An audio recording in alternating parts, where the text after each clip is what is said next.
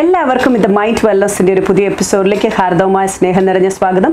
ഞാൻ നിങ്ങളുടെ doctor Susan core life psychologist mind wellness coach and author ഇന്ന് narcissistic personality disorder അതിന്റെ ഒരു ഫാമിലിയിലുള്ള ബിഹേവിയറുമായിട്ടാണ് നമ്മൾ കൂടുതലായിട്ട് അതിലേക്കാണ് ഡീപ്പായിട്ട് നോക്കുന്നത്. ഒരു ഫാമിലിയിൽ ഒരു നാസസിസ്റ്റിക് ആയിട്ടുള്ള ഒരാൾ പ്രത്യേകിച്ച് ഒരു പേരന്റ് ഒരു സ്പൗസ് അവരെങ്ങനെയായിരിക്കും ബിഹേവ് ചെയ്യുക എന്നുള്ളതാണ് നമ്മൾ കൂടുതലായിട്ട് നോക്കുന്നത്. അപ്പോൾ ഇതിനകത്ത് ചില ടേംസ് ഒക്കെ ഉണ്ട് കേട്ടോ. നമ്മൾ ഈ ഇതിനകത്ത് ചില ഈ സൈക്കോളജിക്കൽ അല്ലെങ്കിൽ നമ്മളുടെ ആ ഒരു തെറാപ്പിയിലെ ടേംസ് ഒക്കെ യൂസ് ചെയ്യുന്നത് എനിക്ക് അതുപോലെ തന്നെ യൂസ് ചെയ്യാൻ പറ്റുള്ളൂ പക്ഷേ ഞാൻ അത് എക്സ്പ്ലെയിൻ ചെയ്യാം വാട്ട് ഇറ്റ് ഈസ് എന്നുള്ളത്. അപ്പോൾ നമ്മൾ സാധാരണ ഒരു വീട്ടിൽ ഒരു നാസിസിസ്റ്റിക് ആയിട്ടുള്ള ഒരു അമ്മ അല്ലെ അച്ഛനുണ്ട് എന്ന് വിചാരിക്കാം. അപ്പോൾ അവിടെ പാർട്ട്ണർ റിലേഷൻഷിപ്പ് ഉണ്ട് കുട്ടികളുമായിട്ടുള്ള റിലേഷൻഷിപ്പ് ഉണ്ട് അല്ലേ? അപ്പോൾ ആ പാർട്ട്ണർ റിലേഷൻഷിപ്പിൽ അവർ ബിഹേവ് ചെയ്യുന്നത്. ഇപ്പോൾ ഒരു ഹസ്ബൻഡ് ഒരു ഭാര്യ നാസിസിസ്റ്റിക് ആയിട്ടുണ്ട് എങ്കിൽ അവരെങ്ങനെയായിരിക്കും പെരുമാറുക എന്നുള്ളത് നമുക്ക് നോക്കാം. അപ്പോൾ ഇത് തിരിച്ചും ആപ്ലിക്കബിൾ ആണ്. പക്ഷേ ഞാൻ ഇവിടെ എടുക്കുന്നത് ഭാര്യ നാസിസിസ്റ്റ് എന്നുള്ള രീതിയിലാണ്. അപ്പോൾ അവിടെ ആദ്യമേ അവർക്ക് സാധാരണ വരുന്നത് ഒരു മിററിങ് എന്ന് പറയുന്നുണ്ട്. First of all let me tell you that already നമ്മളുടെ ഈ പാർട്ട്നേഴ്സിന്റെ അടുത്ത് നിന്ന് ഇവർ മാക്സിമം യൂസ് ചെയ്തിട്ടുണ്ടായിരിക്കും അവർ അവരുടെ ഇമോഷൻസ് അവരുടെ മെന്റൽ സ്റ്റേറ്റ് അവരുടെ ഫിസിക്കൽ സ്റ്റേറ്റ് അവരുടെ economic state everything is the use for their own personal kind of അല്ലെങ്കിൽ ഒരു സെൽഫ് സാറ്റിസ്ഫാക്ഷന് വേണ്ടിയിട്ട് അവർ യൂസ് ചെയ്യുന്നുണ്ടായിരിക്കും.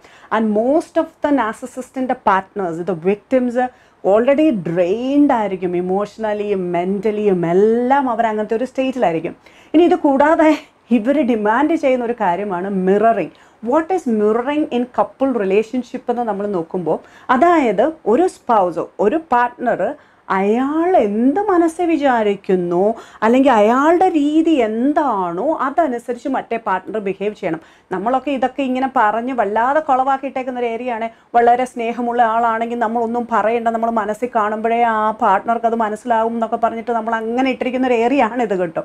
അതൊന്നും റിയാലിറ്റിയുമായിട്ട് വലിയ ബന്ധങ്ങളൊന്നുമില്ല. ചില സിനിമകളിലോ അങ്ങനെയുള്ള കാര്യങ്ങളിലോ വേണമെങ്കിൽ ചില റിലേഷൻസിൽ ചിലതിലൊക്കെ അങ്ങനെ അങ്ങ് ഒത്തുവരാം എന്നുള്ളതേ ഉള്ളൂ. അപ്പം മിററിങ് എന്ന് പറയുന്നത് ഇവർ ഭയങ്കരമായിട്ട് നോക്കുന്ന ഒരു കാര്യമാണ്.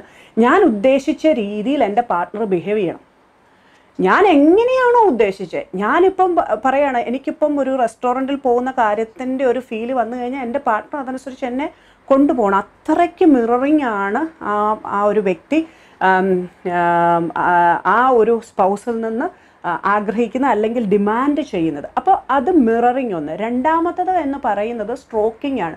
സ്ട്രോക്കിംഗ് നിങ്ങൾക്ക് എല്ലാം അറിയാം. ഒരു ഒരു കെയറിങ് ആയിട്ടുള്ളൊരു ഫീൽ ഒരു അവരെ ഒന്ന് പാമ്പർ ചെയ്യുക. അവരുടെ പുറത്തുനിന്ന് തട്ടി ഓ you are so good and you know like അവരെ പാമ്പർ ചെയ്ത് അവരെ കെയർ ചെയ്ത് അവരെ പ്രൊട്ടക്ട് അങ്ങനെ കൊണ്ടുപോകുന്ന ഒരു നല്ല സൂതിങ് ഫീൽ ഇരിക്കും. നീ നീയാണ് എല്ലാം നീയാണത് എന്നൊക്കെ പറഞ്ഞിട്ട് ഇങ്ങനെ കൊണ്ടുപോകുന്ന സൂതിങ് അപ്പോൾ ഈ മിററിങ്ങും സ്ട്രോക്കിങ്ങും വളരെ വളരെ വളരെ ഹൈ ആയിട്ട് ദ പ്രഡോമിനന്റ് ഇമ്പോർട്ടൻസ് വയ്ക്കുന്ന ഒരാളാണ് നമ്മളുടെ ഈ നാസസിസ്റ്റ് അപ്പോൾ ആ ഒരു വിക്റ്റിമായിട്ടുള്ള പാർട്ട്ണർക്ക് ഭയങ്കര ബുദ്ധിമുട്ടാണ് അതിനെ ഒന്ന് ഹാൻഡിൽ ചെയ്യുന്നുണ്ട്. ഓൾറെഡി അവരുടെ ഇമോഷണലി മെന്റലി എല്ലാം അവർ ഡ്രെയിൻഡാണ് അതിന്റെ കൂടെയാണ് ഇതെല്ലാം വന്നത്. ഇപ്പോൾ അവർ പറയണം എനിക്ക് രാവിലെ ഇന്ന കാര്യം വേണം എന്ന് പറഞ്ഞു കഴിഞ്ഞാൽ അതിന് നിൽക്കുന്ന ഒരു പാർട്ട്ണറായിരിക്കണം അവർക്ക്. അതല്ലെങ്കിൽ അവരെ അവരെ സമ്മതിക്കത്തില്ല. അപ്പോൾ എന്ത് സംഭവിക്കും? അപ്പോൾ ചിലപ്പം നമ്മൾ അത് കൊടുക്കാതെയോ അതല്ലെങ്കിൽ അതല്ലാതെയോ ഇവർക്ക് തോന്നുകയാണ് ഇവർക്കത് കിട്ടുന്നില്ല എന്ന് വരുമ്പോൾ ഇവർ വിഡ്രോവൽസിലേക്ക് പോകും. They withdraw themselves they withdraw themselves എവിടെയെങ്കിലും എന്റെ വ്യക്തിമായിട്ടുള്ള പാർട്ട്ണർ എന്റെ പാർട്ട്ണർ എനിക്ക് എന്റെ മിററിങ്ങും എന്റെ സ്ട്രോക്കിങ്ങും അല്ലാതെയാണ് എന്നോട് പെരുമാറുന്നത്.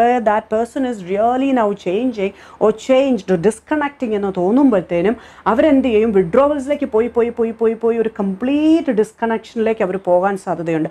അങ്ങനെ വരുമ്പോൾ അവർ ഭയങ്കരമായിട്ടുള്ള ഒരു എന്താ പറയുക അതിന് എന്ന് പറഞ്ഞു കഴിഞ്ഞാൽ ഒരു നാസസിസ്റ്റിക് ഒരു ഒരു ഒരു എക്സ്പ്ലോഷനിലേക്ക് അത് പോകാനായിട്ട് സാധ്യതയുണ്ട്. They just they get into a kind of ഒരു അവരുടെ ഇന്നർ ഇഞ്ചുറിയാണ് അവർക്ക്. അത് നാസസിക്ക് ഇഞ്ചുറി പോലെയാണ്. അകത്തിങ്ങനെ ഇങ്ങനെ. അപ്പോൾ അതിൽ നിന്ന് അവർ പെട്ടെന്ന് ഇങ്ങനെ ഇതാകാൻ സാധ്യതയുണ്ട്. പിന്നെ ഈ വിഡ്രോവലിനകത്ത് അവരുടെ വിഡ്രോവൽ കണ്ടിട്ട് ഈ വിക്ടിമിന് ഒരു ഫിയർ ഉണ്ടാവും. ഒരു ആങ്സൈറ്റി ഉണ്ടാവും. ഓ my God what is this how it is എന്ന്. ഈ ഫിയറും ഈ ആങ്സൈറ്റിയും കാണുന്നത് അവരുടെ ആ ഒരു ഫീൽ കാണുന്നത് ഈ നാസസിന് ഭയങ്കര ഇഷ്ടമാണ്. കാരണം അറിയാമല്ലോ അവർക്കാണ് പ്രൊഡോമിനലി അവരുടെ ഇമ്പോർട്ടൻസ് ഉള്ളത്. ഒരു സെൽഫായിട്ട് അവരെ അവരെയാണ് അവർ ഏറ്റവും കൂടുതലായിട്ട് ഇമ്പോർട്ടൻസ് കൊടുക്കുന്നത്. അവർക്ക് അവരുടെ കാര്യങ്ങൾ നേടി കിട്ടുക തന്നെ ചെയ്യണം. ഇനി ഈ ഒരു രീതിയിലുള്ള ഈ വിഡ്രോവലും ഈ രീതിയിലുള്ള ഇഞ്ചുറിയിലേക്ക് വരുമ്പോൾ ചിലപ്പോൾ ഇവർ പുറത്തേക്ക് കൊണ്ടുവരുന്ന ബിഹേവിയർ ചിലപ്പം എല്ലാവർക്കും ഡാമേജിങ് ആയിട്ട് തീരും. അതായത് ചിലപ്പോൾ വീട്ടിൽ അമ്മ അച്ഛനുണ്ട് അവർക്ക് ഡാമേജിങ് ആയിട്ട് തീരും. അവരുടെ മക്കളുണ്ട് അവർക്ക് ഡാമേജിങ് ആയിട്ട് തീരും. We can predict their behaviour after that ഇനി അതാണ് ഒരു സ്പൗസൻ എന്ന രീതിയിൽ നമ്മൾ സഫർ ചെയ്യുന്ന കാര്യം. അവർക്ക് വലിഡേഷൻ കൊടുക്കുക നാസസിസ് സപ്ലൈ മീറ്റ് ഇതൊക്കെ നമ്മൾ നേരത്തെ പറഞ്ഞിട്ടുള്ള കാര്യങ്ങളാണ് നമ്മുടെ വീഡിയോസിൽ പക്ഷേ ഈ ഒരു രണ്ട് ടേംസ് നമ്മൾ മനസ്സിൽ കരുതണം. ദ മിററിങ് ആൻഡ് സ്ട്രോക്കിംഗ് ഇത് ഇവർക്ക് ഇങ്ങനെ കിട്ടിക്കൊണ്ടിരിക്കണം. ഇല്ലാന്നുണ്ടെങ്കിൽ നമ്മൾ കുറ കുറയ്ക്കുന്നതനുസരിച്ച് ഇവരും വിഡ്രോവലിലേക്ക് പോകും ഇവർ നോക്കും ട്രൈ ചെയ്യും കിട്ടാനായിട്ട്. കിട്ടിയില്ല ഇവരും വിഡ്രോവൽസിലേക്ക് പോകും അങ്ങനെ ഒരു ഡിസ്കണക്ഷൻ ഫോം ചെയ്യുക എന്നുള്ളത് നമ്മൾ കാണാറുള്ളതാണ് സാധാരണ റിലേഷൻഷിപ്പിൽ ഇനി ഇങ്ങനെയുള്ള അവസ്ഥയിൽ നാസസിസ്റ്റ് ആയിട്ടുള്ള പേരുണ്ട്. ഇപ്പോൾ ഒരു മദർ ആണെങ്കിൽ നമ്മളിപ്പോൾ ഇവിടെ നമ്മൾ സ്ത്രീയുടെ കാര്യമാണ് എടുത്തത് കൊണ്ട് തന്നെ ഞാൻ പറയുകയാണ് അവരെങ്ങനെയാണെന്ന് വെച്ച് കഴിഞ്ഞാൽ the mothers see the parents see the children are their extension എന്റെ എക്സ്റ്റൻഷനാണ് ഈ കുട്ടികൾ. അപ്പോൾ എനിക്ക് എന്തൊക്കെ സാധിക്കണം അതല്ല ഈ കുട്ടികൾ ചെയ്തു തരണം. എന്താണോ ഞാൻ ആഗ്രഹിക്കുന്നത് എന്റെ കുട്ടി has to do then that child has to do അതല്ലാതെ അത് സമ്മതിച്ചു കൊടുക്കത്തില്ല. അപ്പം അവർക്ക് എപ്പോഴും കുട്ടി ഭയങ്കര പെർഫോമർ ആയിരിക്കണം ഭയങ്കര നമ്പർ വൺ ആയിരിക്കണം ഏറ്റവും നല്ല രീതിയിൽ കാര്യങ്ങൾ ചെയ്യണം. അതിന് വേണ്ടിയിട്ടെല്ലാം അവരിങ്ങനെ വളരെ നല്ല രീതിയിൽ ഇങ്ങനെ കൊണ്ടുപോകും. അവർക്കത് വേണം. അങ്ങനെ അങ്ങനെ അങ്ങനെ അവർ ഡിമാൻഡ് ചെയ്തുകൊണ്ടിരിക്കും.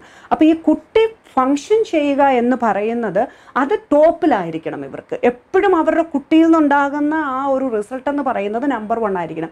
എനിക്ക് I still remember the was a person who was telling ആ കുട്ടിയുടെ അച്ഛൻ നാസസിസ്റ്റിക് ആണെന്ന് എനിക്ക് ഒരൊറ്റ വാക്കിൽ നിന്ന് മനസ്സിലായി. എങ്ങനെയാണെന്നറിയാവോ?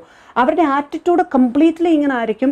ആ കുട്ടി എന്നോട് പറയുക ആ കുട്ടിക്ക് ഭയങ്കരമായിട്ട് ഈ ഈ number one syndrome to be number one to be number one to be number one she cannot be number two never in her life she can be number two അങ്ങനെ ആയിക്കഴിഞ്ഞാൽ she get frustrated she destroys her room she creates a chaos in the you know in her room or personal you know in the home or wherever and she attacks verbally or action wise to every one she cannot control herself so why that happens എന്ന് ചോദിച്ചു കഴിഞ്ഞാൽ ഞാൻ അതിന് there should be something which is really happened not right in her childhood or you know when she was growing up the personality സ്ക്രിപ്റ്റിൽ വരുന്ന ചില കാര്യങ്ങളാണ്. നമുക്കൊക്കെ ഒരു സ്ക്രിപ്റ്റ് ഉണ്ട്. പേഴ്സണാലിറ്റി എങ്ങനെ വേണം നമ്മൾ ബിഹേവ് ചെയ്യാൻ. അപ്പോൾ അവിടെ എവിടെയോ കിട്ടിയതാണെന്ന് അറിഞ്ഞ് അതിലേക്ക് നമ്മൾ വിസിറ്റ് ചെയ്തപ്പോൾ മനസ്സിലായ ഒരു കാര്യം എന്ന് പറയുന്നത് father use to say number two is the number one position of a loser okay if you come a second you are not successful you are not good enough number two is the first position of a loser. And this is what exactly the uh, narcissist parent feel. You know they cannot no the my child has to be number one. If they are not number one now what is the big they don't have some some parents will say if the child is not listening they may leave. But the child is connected. The extension child they hold of that child and they want the child to be all the time performing. And if the child is not performing the parent will fo- uh, form a narcissistic wound ഒരു ഒരു ഒരു വൂണ്ടാണ് അവർക്കതൊരു ഒരു ഒരു ഭയങ്കരമായിട്ടുള്ളൊരു feeling ആണ്. ഈ feeling എങ്ങനെ ഉണ്ടാകുന്നു വെച്ച് കഴിഞ്ഞാൽ ഇവർക്ക് ഭയങ്കര ജലസിയാണ് ഇവർക്ക് ഭയങ്കരമായിട്ട് എന്താ പറയുക അവരൊരു എൻവി വരും. എൻ ഒരു ജലസി ആൻഡ് എൻവി എന്ന് പറയുന്നത് ഇവർ ഇവർക്ക് എപ്പോഴും ഉണ്ട്. അതായത് ഇവർ കമ്പയർ ചെയ്യും. അവരുടെ മകൾ എങ്ങനെയായിരുന്നു? അവരുടെ മകൻ എങ്ങനെയായിരുന്നു? ഞാൻ എങ്ങനെയാണ്?